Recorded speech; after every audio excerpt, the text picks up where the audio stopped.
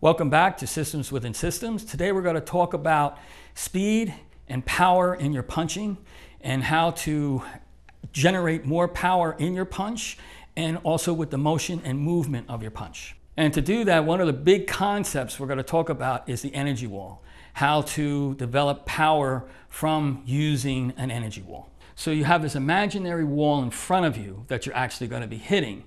All right. And then that energy wall actually, the person or the individuals become that energy wall. That way, when you're practicing at home, you're also practicing with the same hitting power and speed that you'll be using in a real life situation.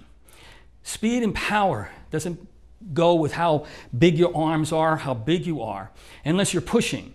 So if you have a person that's 300 pounds and they're pushing through their punch and they're putting the whole body weight through it, then of course it's going to hurt a smaller person or equal out with a bigger person. Real power is going to come down from the speed and creating a shock wave. All right, for this next segment, talking more about the energy wall, I'm going to bring out instructor Ben Brown. Now, what we talked about was that the person becoming the wall, right? Becoming the energy wall. So the energy wall really becomes the individual that's in front of you. So the way that you practice at home, when you're just throwing things and moving around, is the same way that you would actually do in real life. So you actually start developing power and speed through that. And the whole idea is in the motion. So if he's the wall and I'm standing here, so I'll take a fight position. As I'm coming to it, I'm gonna, that's the wall. That's when I'm touching the wall. Right? Remember we talked about just touching it, then I push in a little bit, right, to form that gravity well and then the well pushes back, that causes the rings, that causes the percussion punch that actually is effective, right? So as I'm standing here, I'm gonna come to, right? I'm gonna move in a little bit, extend the arm a little bit, and as I come back, that's the punch. On the back motion, that's the hit. If I'm coming in here, right, I'm coming to, you see where I target a smaller area of my fist. I'm coming in here, extending a little bit, back. That's the motion. So now, if I'm standing, I'm just hitting, boom, boom, I'm hitting.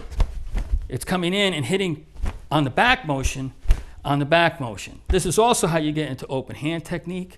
I can hit with all fingers, coming in, coming here, just touching, coming back. You see? I'm not taking my fingers like you're watching the movies, five fingers of death, and going through it, and the hands bend, one finger moves to the other. It's coming to and moving. I can, as you start to develop different techniques, it comes through and moves, right? Now, another way of actually practicing that with an individual, if they turn their back to you, so they spread their legs a little bit, just give a little bit of motion, and they don't fight you. So when people first start practicing this, they'll practice from here and they'll push. And so that's not what you want. It has to be on the back motion. So they're just very relaxed sitting here, right? Just staying in that position, sitting down in it, as I come through, I'm going to come in, touch, extend, and come back. So they just move forward easily. It's a good way to start to practice your percussion punching. So you see, I'm not doing this and coming forward because he'll, he'll move too. I'm not doing this. This is what everybody's going to do. All right? I'm coming to, extending, and coming back. Okay? It's that back motion boom, that explodes, allows you to hit to the target, boom, and come out. Now, if he's facing me in a fight position, he becomes the energy wall. Now, say I'm going to hit here and here. This is what causes the shock waves even to be more effective. If I'm coming out here and I hit one, two, it goes one, back, two, back. So it causes a different shock wave.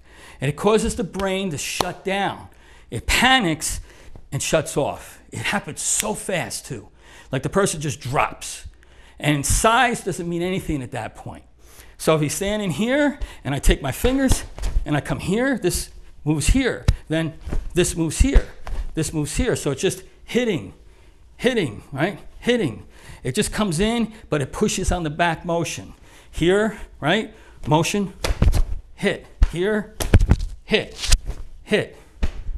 Okay, everyone, thanks for watching. If you liked us, please give us the thumbs up and don't forget to subscribe. If you'd like to see more, you can come check out the website, the Facebook page, or the podcast. You can find all the links in the description below.